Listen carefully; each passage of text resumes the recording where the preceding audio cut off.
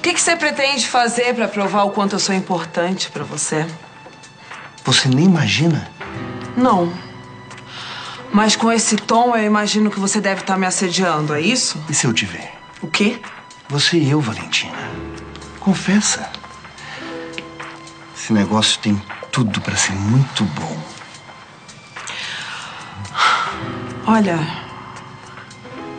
Adriano, eu não sei se você já reparou, mas a gente tá num local de trabalho. E eu não lembro de ter te dado essa intimidade pra você falar nesse tom comigo. Mas que tom? Você sabe muito bem, Adriano. Valentina, eu só quero ser seu amigo. Só isso. E que você me conheça melhor com o tempo. Então vamos deixar o tempo encarregado disso, né? Claro. Quem sabe um. um jantar não ajude no processo? Um jantar. Eu quero muito jantar com você uma noite, Valentina. Olha, eu. Eu preciso trabalhar. Claro. Então eu fico esperando o nosso jantar.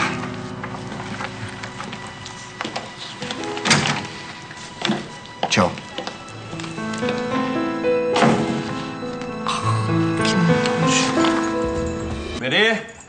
Cheguei. Ué, é que ela saiu? Berê!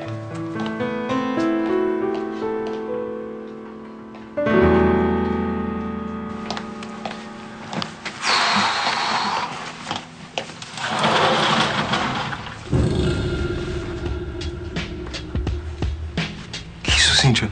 Como é que você entrou aqui?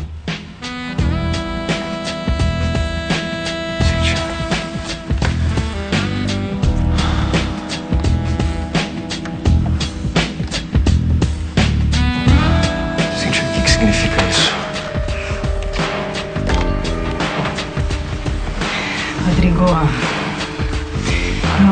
Cíntia, para com isso. Para com isso, Cíntia. Pelo amor de Deus, Cíntia. Que isso, tá maluca?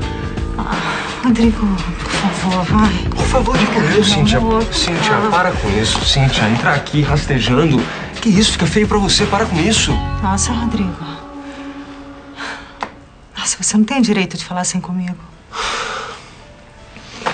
Desculpa, Cintia, eu não, não queria te ofender, mas como é que você entrou aqui? Eu- Coloca a roupa, por favor.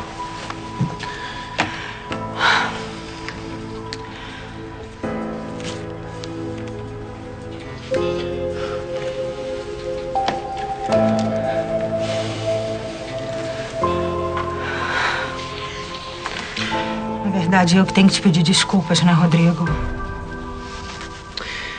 Se pudesse entender o que eu tô sentindo.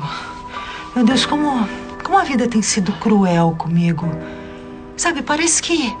Parece que tudo que ela me deu, ela resolveu tomar assim de mim, de uma hora pra outra. O que exatamente você está falando, Cintia? De ter perdido você, Rodrigo. Meu Deus, eu tentei te esquecer. Eu juro que eu tentei, mas eu não consegui. Eu não consegui, Cíntia, Rodrigo. Cíntia, não isso, eu não Cíntia. posso viver sem você. Cíntia, pelo amor de Deus, para com isso, tá maluca? Meu Deus, na verdade, eu nem sei por que, que nos separamos. Meu Deus, Rodrigo, nós, nós estávamos noivos. A gente estava fazendo os preparativos do casamento, eu estava vendo o vestido de noiva, eu estava vendo o buffet, a decoração. Aí, de repente, me aparece aquela mulher. Você tá falando que, da Bela? Que tirou você de mim. Eu não sei como ela conseguiu isso. Não foi bem assim, você sabe disso, Mas Cíntia. também isso não tem mais importância. Né, meu amor? Até porque eu tenho certeza que nós dois, meu Deus, nós dois, nós vamos superar esse tempo que nós ficamos separados. Nós vamos tentar recomeçar de alguma Cíntia, forma. que eu amei posso... a Bela, eu amei muito a Mas Bela. ela tá morta. Mas agora eu amo outra mulher. O que foi que você disse? Eu disse que você tem que me esquecer, Cíntia. Vira a página, parte pra outra. Para, Rodrigo, você não tá falando sério. Para. Gente, eu acho que eu nunca vou te amar, talvez como você mereça. Desculpa, mas não depende de mim isso. Rodrigo, não, você não tá falando sério, tá? Tô sim. Você tá cansada de saber disso. Então por que que a gente ia casar? Por que, que nós estávamos fazendo planos para um casamento se você não me amava? Me diz o que, que você realmente sentia por mim. Cíntia, pelo amor de Deus, não é possível que você tenha esquecido. Você tá tão perturbada que não lembra a conversa que a gente já teve sobre isso? Mas você tá me chamando de louca? Não, Cíntia, não é isso. Eu não tô te chamando de louca. Você me ama, só que você não tem coragem de Meu admitir Deus isso. do céu, de novo essa história, Cíntia. O que que eu preciso fazer pra você entender que acabou? Pelo amor de Deus, me diz que você me amava. Cíntia, E que você queria casar comigo. eu que você queria gostava! casar comigo. Eu gostava de você. Gostava, ponto. Nós só ficamos noivos por causa do bebê. Você tava grávida, Cíntia, e eu achei que era certo ficar com você. Mas se não fosse essa criança que nem chegou a nascer, aliás. Deus, como eu- você é ingênuo. Como você foi trouxa. O que, que você tá falando agora, Cíntia? Eu nunca fiquei grávida, Rodrigo. nunca. Nunca.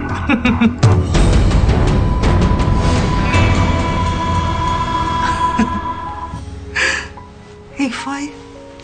Você. Você achou que ia me enganar, né? Você achou que ia me fazer de palhaça. Cíntia. Rodrigo, você acha que eu ia deixar você se envolver, ter alguma coisa com aquela baranga horrorosa? Imagina, Rodrigo. Me diz, gostou do troco? Gostou? Ai, meu Deus, Rodrigo, como. Meu Deus, como você foi trouxa, né? Nossa, eu consegui enganar você durante todo esse tempo, fingindo um aborto de uma gravidez que nunca existiu, Rodrigo. Ai, Rodrigo, Rodrigo, agora me diz. Diz, quem é que tá rindo por último, hein? Cíntia, você só pode estar louca. Eu não acredito que você tenha descido tão baixo a ponto de inventar uma gravidez, um filho, depois um aborto. Ah, claro. Claro, só você que pode mentir, né? Você contou detalhes, Cíntia. Comprou as roupinhas do bebê. Depois inventou a história do aborto. Chorou. Ficou deprimida. Ai, Rodrigo. Foi muito criativa, né? Não foi? Me diz. Ainda por cima colocou a culpa na Olga. De uma tragédia que nunca existiu, Ai, bom, Cíntia. pra começar, Rodrigo, eu tô pouco me lixando pra Olga, tá? Pra ter você, eu tive que usar de todas as armas. Guerra é guerra. Eu não sei por que que eu tô tão surpreso assim com o que você acabou de me falar. Ah, Rodrigo, não sabe mesmo. Não, porque eu não podia esperar nada diferente de uma vagabunda. Podia? Você não tem o direito de falar assim comigo. É verdade. Eu não tenho esse direito, não. Só que existem termos bem mais adequados, só que eu não quis pegar tão pesado. Deus, Rodrigo. Rodrigo, será que você não percebe que tudo que eu fiz foi porque eu te amava e te amo? Eu não podia deixar que aquela mulher horrorosa tirasse. Cala a boca! Cala a boca agora, você tá ouvindo?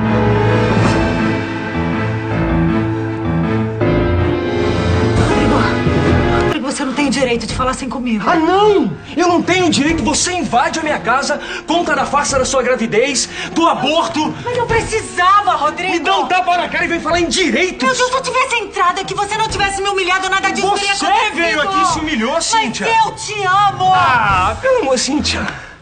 Dá um tempo, Cíntia. Você não é capaz de amar. Você é egoísta a ponto de não conseguir pensar em ninguém além de você mesma. Não, não fala isso, Rodrigo. Olha, por favor, eu não quero que você fique com raiva de mim, Rodrigo. Raiva de você, Cíntia? Raiva de você? Eu senti raiva de alguém, eu preciso que essa pessoa signifique alguma coisa pra mim, entendeu? E você não significa nada. Ah, é? Ah, é? Pois se você acha que essa história vai ficar assim, você tá muito enganado. Eu vou sair daqui, eu vou Você quer destruir. saber? Você quer saber? Eu tô cansado de você. Eu não aguento mais você. Aliás, nada do que você me diz me interessa. Aliás, não sei o que eu tô fazendo Olha aqui. aqui, olha aqui, você não vai sair daqui e me deixar sozinha. Para! Não sei o que fazer, entendeu? Para! Rodrigo! Seu Rodrigo! Você vai ter que ficar e ouvir o que eu tenho pra te falar. Não vai embora aqui, meu Rodrigo! Droga! Dona Cíntia, a a senhora quer alguma coisa? Eu quero morrer! Eu quero morrer!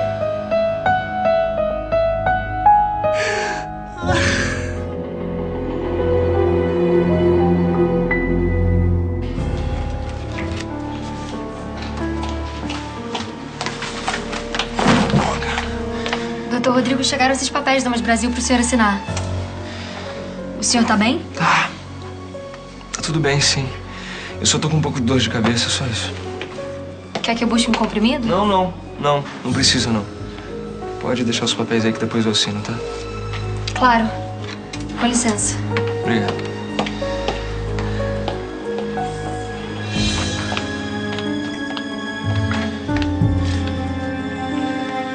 Eu sempre sonhei em ser pai.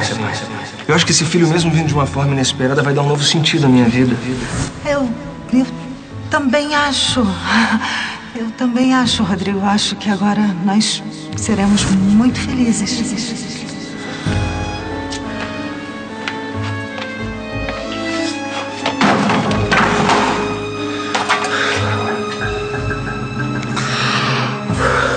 Você vai se casar com a Cíntia? Melhor tenta entender, por favor. Da onde eu tirei a ideia que você ia preferir o meu amor ao da Cíntia? O que que você tá dizendo, Cíntia? Você perdeu o nosso bebê? Estava no hospital até agora. Que horror. Ai, meu Deus. Ai, tudo por causa da Olga. Meu Deus, eu não consigo acreditar. Nosso filho. Meu amor. O nosso bebê, a criança que a gente tanto desejava, que a gente tanto esperava. Vagabunda.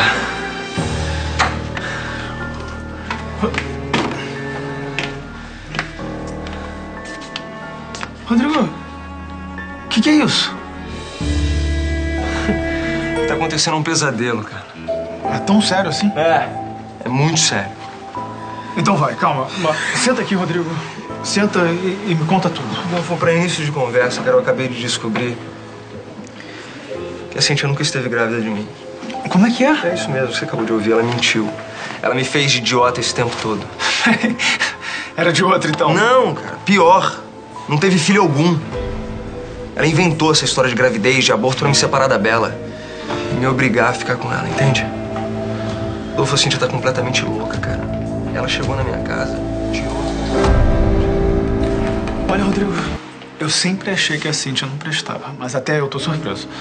Eu nunca pude imaginar que ela chegasse a esse requinte de crueldade. O que eu não entendi, Rodolfo, é como eu caí na lábia dessa mulher. Quer saber? Eu acho que ela tem razão. Eu sou muito ingênuo, idiota. Calma, calma, pega leve. Não vai ficar se culpando agora. Afinal, você não tinha como saber que a Cintia, além de sonsa, era manipuladora. Claro que tinha. Você sabia, por que eu não? Ah, não sei. Eu acho que por ela sempre ter me olhado de cima, por eu nunca ter ido com a cara dela, eu prestava mais atenção. Rodolfo, eu nunca vou conseguir me perdoar, cara. Por causa das mentiras dessa louca, eu tive que me separar da Bela na época. Sai da minha frente. Que isso? Que pressa? Ela tá fugindo de alguém, Cíntia? Só se for de você, né, sua idiota? Olha aqui, ô, Cíntia. Eu tenho meus direitos, eu sou empregada doméstica, eu tenho meus direitos. Você sabe que tem um Ah. artigo que diz... Seus direitos, você vai ver o que eu faço dos seus direitos, idiota! Ô, Cíntia, para com isso! você quase me acertou! Ah, quase! Que pena, né, Leia? Vamos ver se agora eu acerto! Cíntia, para! Ô, Cíntia, para com isso! Para o respeito, hein?